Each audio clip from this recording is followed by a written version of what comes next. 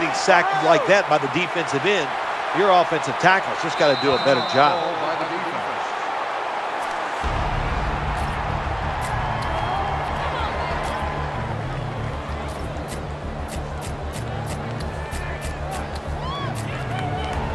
Here's the football resting at the 43.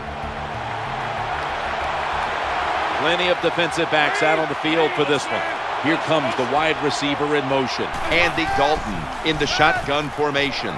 Goes deep to A.J. Green. Touchdown as we near the end of this one.